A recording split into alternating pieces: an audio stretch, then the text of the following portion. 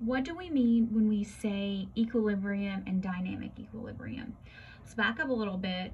And everything we've done to this point, both in first semester general chemistry and um, up to now in second semester, we've been writing and studying reactions that only proceed in one direction, and that would be uh, the forward direction going from reactants to products. So when we do that, we depict these reactions using a single arrow a single arrow that goes from left to right. So any equation that you have seen uses this. So now we're going to have a different reaction. So we have hydrogen gas, iodine gas, making hydroiodic acid gas.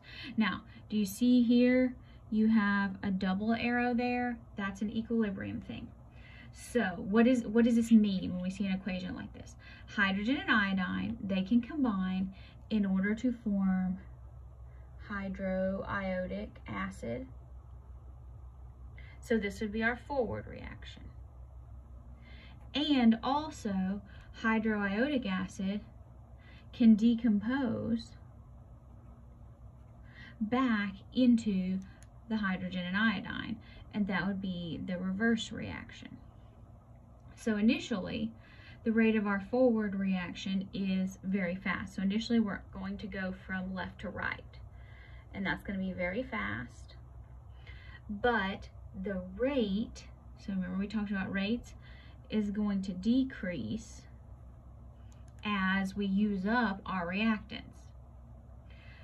So initially the rate of the reverse reaction, so that would be our decomposition reaction going from right to left, is going to be very slow because we don't have very much hydroiodic acid.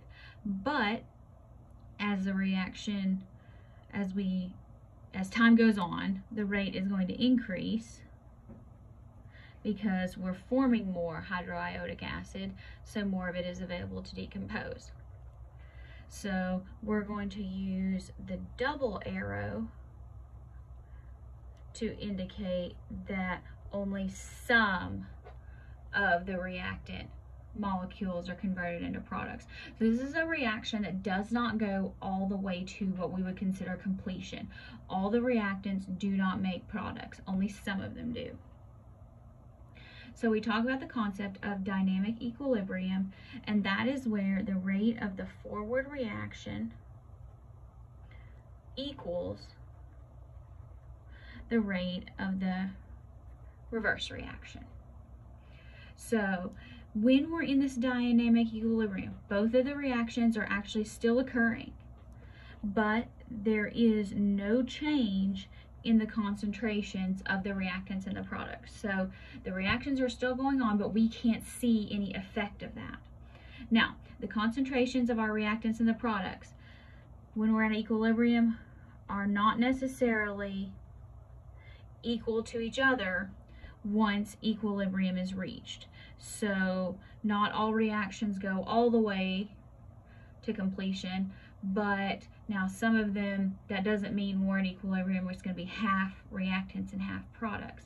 That doesn't necessarily mean it's going to be the case. It might be, but more than likely it's not.